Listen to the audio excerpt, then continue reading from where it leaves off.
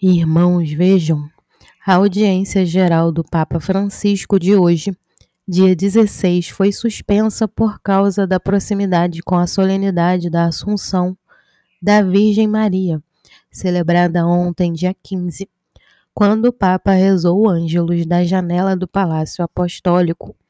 Depois da interrupção das audiências no mês de julho, a audiência geral da quarta-feira 9 de agosto marcou o retorno deste evento.